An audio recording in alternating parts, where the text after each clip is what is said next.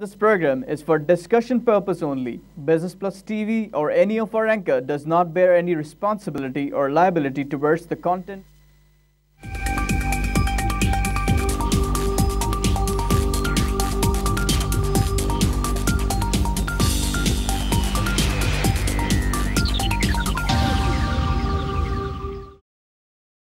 السلام علیکم and very good morning to everyone live well well کے اس ٹرانسمیشن میں میں ہوں آپ کا ہوسٹ روہیل انتخاب ہوپلی آپ لوگ ٹھیک ہوں گے اور اپنے گھروں میں محفوظ ہوں گے اور خیریت سے اپنے دفتر پہنچ گئے ہوں گے اور جو لوگ گھر پہ ہوں گے وہ اٹھ چکے ہوں گے یا سو رہے ہوں گے یا یہاں وہاں کہیں گھوم رہے ہوں گے. آج پورا دن ہم آپ کو اپڈیٹ رکھیں گے اس ٹرانسمیشن کے حوالے سے، پاکستانی اسٹاک ایکسچینج کے حوالے سے، ساتھ ساتھ اکنامیکل پوائنٹ آف ویو سے جو جو معاملات چل رہے ہوں گے وہ آپ کو بتاتے رہیں گے.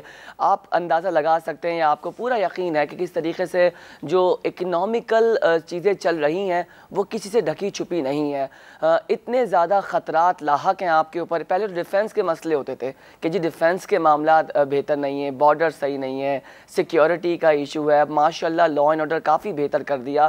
ہیڈس آف دا لا فورسمنٹ کے جو لوگ ہیں ہمارے ہمارے تمام تر بھائی لوگ جو لوگ اپنی سیکیورٹی آپ کی سیکیورٹی کے لیے دن رات بارڈرز پہ کھڑے ہیں۔ اور اب تو انٹرنل سیکیورٹیز کے بھی ایشوز ہیں، اس کو بھی دیکھ لیا ہے۔ اب واٹ نیکسٹ نیکسٹ یہ کہ جو ڈپلومیٹس ہیں، وہ کیا کر رہے ہیں۔ انہوں نے کیا کیا؟ ساج آج اس پر بات کریں گے۔ اور میری بڑی کوشش ہوتی ہے کہ میں صبح سویرے جو ہے تنقید نہ کروں کرٹیسائز نہ کروں پازیٹیو خبریں آپ کے سامنے رکھوں۔ لیکن کچھ نہ کچھ حقیقت تو آپ کو بتانی پڑتی ہے۔ تین چار دن ہو چکے ہیں سٹاک مارکیٹ کا جو صورت حال ہے، وہ کسی سے ڈھکی چپی نہیں ہے۔ کتنا ہم سپورٹ کریں، کتنا ہی ہم لوکلز کو بولیں، وہ تو بیچارے لگے ہوئے ہیں۔ وہ بائی بھی کر رہے ہیں، کہنے پہ سیل بھی کر رہے ہیں۔ انسٹیٹیوشنز بھی رول پلے کر رہے ہیں۔ لیکن گورنمنٹ کیا کر رہی ہے؟ سرکار کیا کر رہی ہے؟ ریگولیٹر ادارے کیا کر رہے ہیں؟ سوال تو یہ ہے۔ ایک خبر آپ کو دیں گے۔ Security exchange commission of Pakistan نے انٹروڈیوس کروایا ہے شریعہ ایڈوائزر ریگولیٹر دو ہزار سترہ۔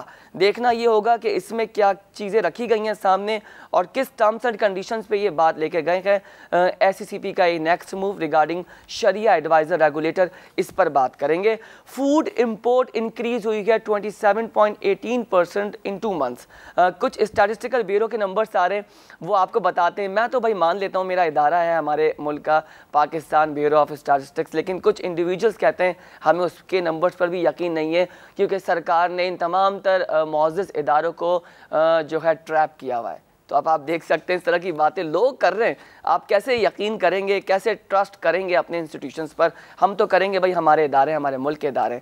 مزید بات ہوگی hundred megawatt additional power to be imported from Iran for Gwadar. یہ خبر آئی ہے ابھی ایران سے ایسوسیٹ لیکن آپ کیسے بھول سکتے ہیں کہ آپ کے وزیر اعظم جو کہ نا اہل اور سابق وزیر اعظم ہیں انہوں نے ایران کے معاملات جو کہ گیس والا منصوبہ تھا پچھلی گورنمنٹ میں زرداری صاحب نے آگے لے جانے کی بات کی۔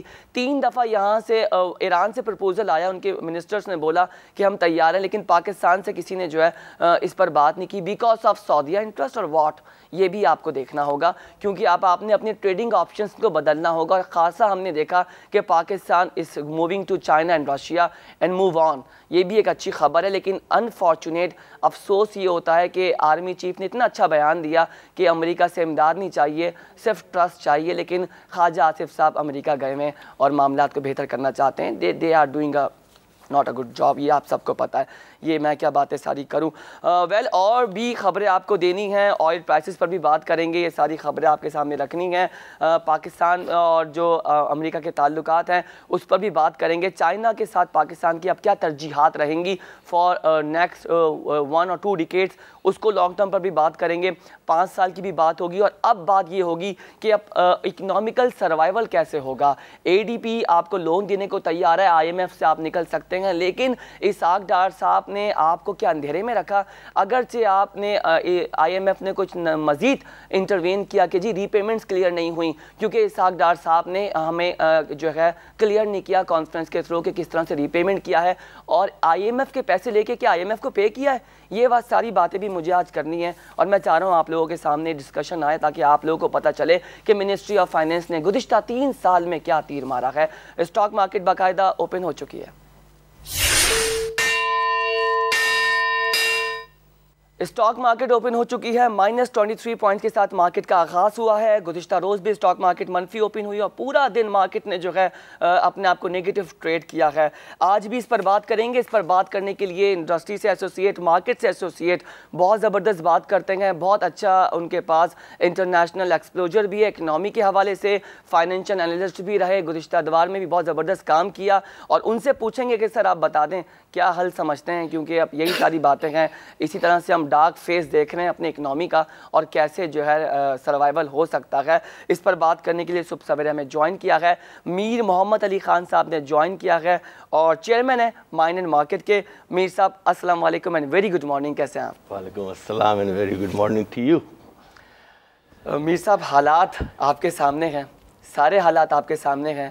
کوشش ہماری ہے ایز این اینکر ہم بھی چاہ رہے ہیں۔ As a citizen of Pakistan ہم چاہ رہے ہیں کہ اس ملک میں ترقی ہو اس ملک کے معاشی حالات بہتر ہو وٹ یو تھنک کس طرف ہم جا رہے ہیں ڈپلومیٹس کیا کام کر رہے ہیں اب کیا ہو سکتا ہے آپ اور میں صرف چاہ سکتے ہیں لفظ چاہ ہے نا آپ اور میں صرف چاہ سکتے ہیں یہ کرنے والے جو اقتدار میں ہیں یہ وہ کر سکتے ہیں چند چیزیں شہری کر سکتے ہیں چند چیزیں حاکم کر سکتے ہیں اس وقت شہری کچھ نہیں کر سکتا آپ یہ دیکھیں کہ پاکستان سٹاک ایکسچینج کو لے لیں، جس دن نواز شریف صاحب کو ڈسکوالیفائی کیا گیا تھا، اس کے بعد مارکیٹ سیدھا اوپر ہی اوپر گئی۔ کل نواز شریف صاحب دوبارہ صدر بن گئے پی ایم ایل این کے مارکیٹ نیچے گر گئی۔ ٹھیک ہے میر صاحب ایک بریک کا کہا جا رہا ہے۔ آپ کی جی۔ بات کو روک کے معذرت بات کو روک کے دوبارہ اس پہ کریں گے۔ ایک بریک لیتے ہیں بریک پر جب واپس آئیں گے تو مزید بات کریں گے۔ Stay with us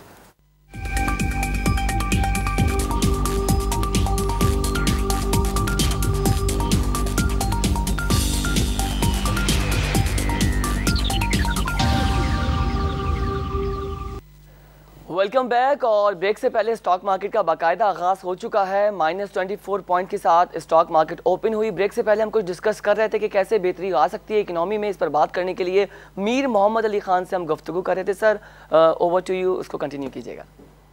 ہاں، میں یہ کہہ رہا تھا کہ کل دیکھیے پی ایم ایل این کے صدر بن گئے اور مارکیٹ آٹھ سو، نو سو پوائنٹ نیچے چلی گئی۔ ایک جنرل کنسنسس ہوتا ہے بزنس کمیونٹی کا۔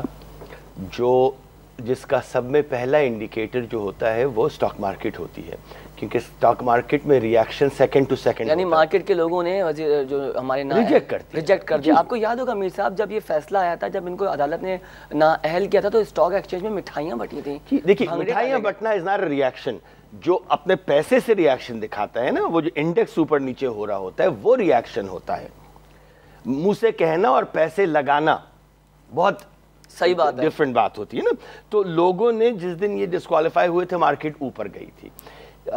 کل یہ پریزیڈنٹ بنے مارکیٹ نیچے گئی کہنے کا مقصد یہ ہے کہ ایک سینٹیمنٹ بھی ہوتا ہے جو مارکیٹ کی سے دنیا میں ہر جگہ یہ ہوتا ہے۔ سٹاک مارکیٹ برازیل کے پریزیڈنٹ گئے مارکیٹ نائن پرسنٹ نیچے چلے گئے۔ ساؤتھ کوریا کے پریزیڈنٹ گئے مارکیٹ نیچے چلے گئی نئے پرائم منسٹر پریزیڈنٹ آئے ساؤتھ کوریا کے مارکیٹ اوپر چلی گئی۔ جاپان میں تو اب خیر fifty six fifty seven prime minister change ہو چکے ہیں ساٹھ پینسٹھ سال کے اندر تو وہاں تو مارکیٹ کچھ ریاکٹ ہی نہیں کرتی ہے کہ literally I'm not joking with you.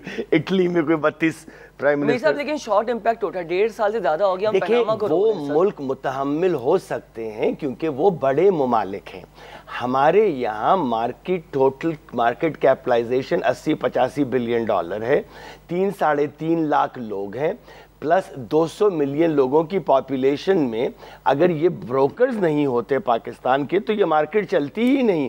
کیونکہ دو سو ملین لوگوں کی پاپولیشن میں تین، سوا تین لاکھ بھی اب تو فگر بھی نہیں صحیح پتا چلتا کہ کتنے انویسٹرز ہیں۔ تین لاکھ از اے جوک یہ تو یہاں کے میوچول فنڈز ہیں، یہاں کے فنڈ مینیجرز ہیں، یہاں کے سٹاک بروکرز ہیں، جنہوں نے اس مارکیٹ کو صحیح طریقے سے رکھا ہوا ہے۔ مطلب ایک سروس دے کر مارکیٹ ہماری چلتی رہتی ہے اور یہ چلاتے رہتے ہیں۔ تو ہم تو اس قسم کی پولیٹیکل انسٹیبلٹی کو کبھی متحمل ہو ہی نہیں سکتے۔ سب کہتے ہیں کہ ڈیموکریسی کو گرو ہونا چاہیے، بالکل ہونا چاہیے ڈیموکریسی مگر جب ڈیموکریسی خود اکانومی کو جھٹکے دے رہی ہو، تو پھر کیا ہونا چاہیے؟ پھر ڈیموکریسی کے اسکروز ٹائٹ ہونے چاہیے۔ یہ ایک عجیب سی چیز ہو گئی ہے۔ پاکستان میں do you think it's a real democracy or not دیکھیں جو بھی ہے اچھی ہے۔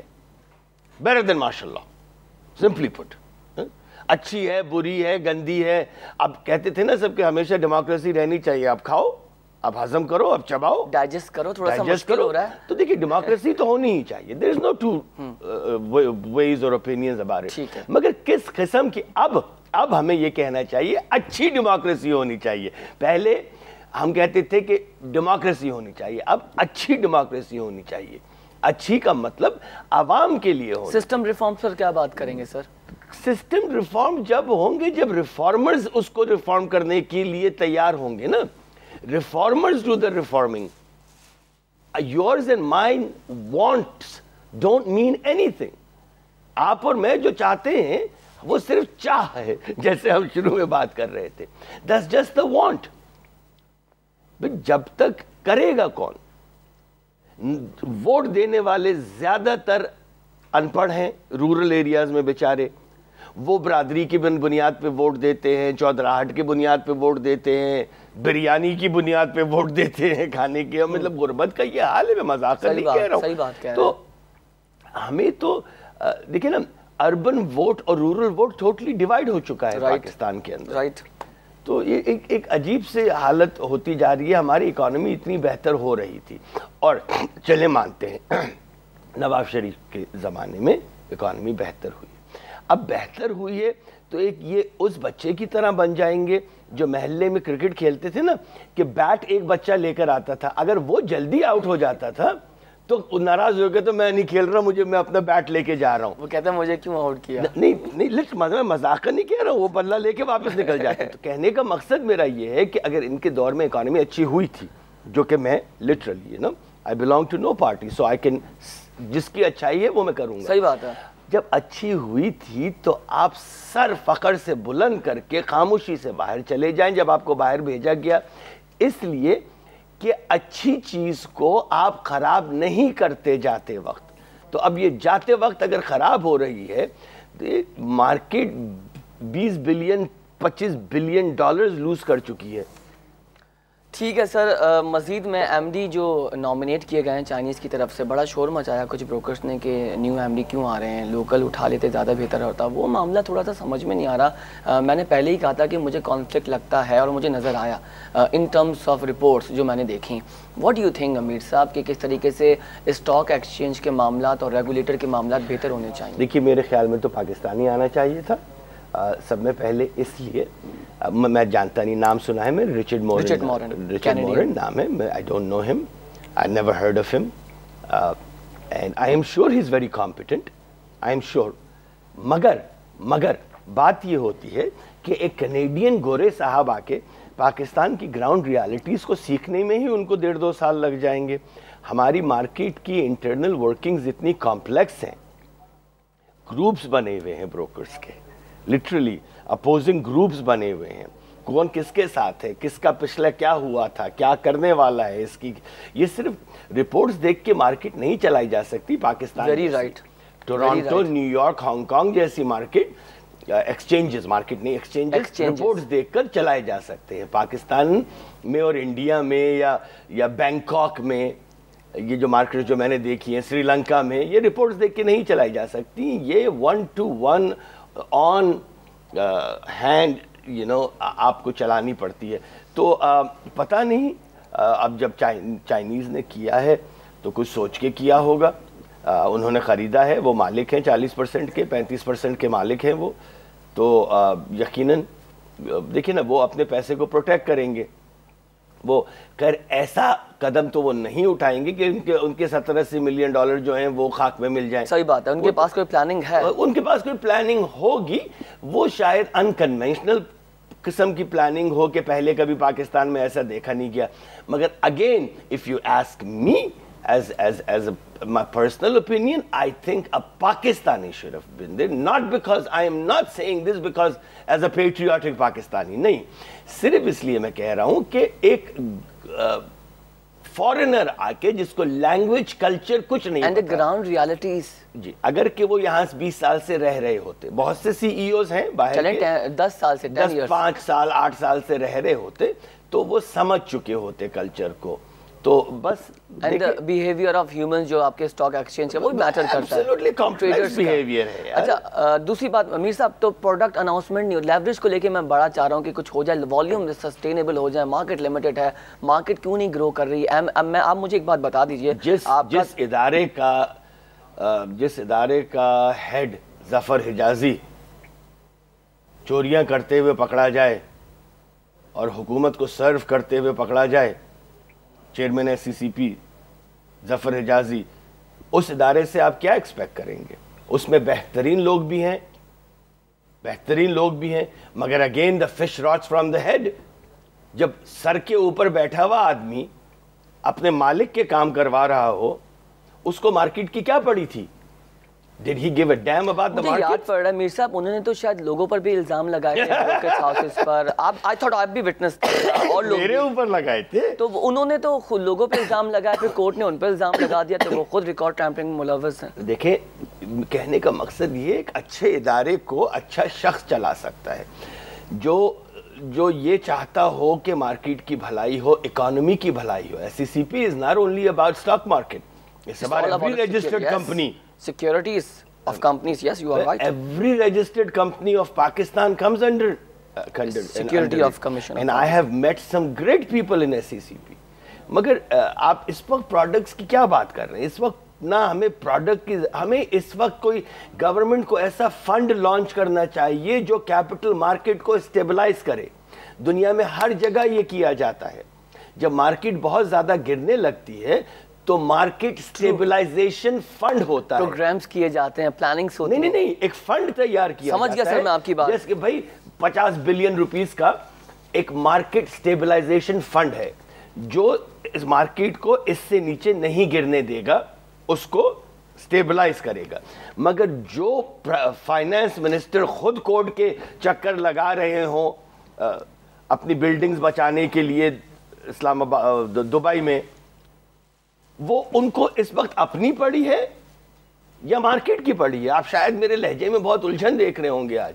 الجھن اس لیے دیکھ رہے ہیں سب سب لوگ ڈسٹرب ہیں۔ ہر کوئی ڈسٹرب ہے ہم لٹ گئے ہیں۔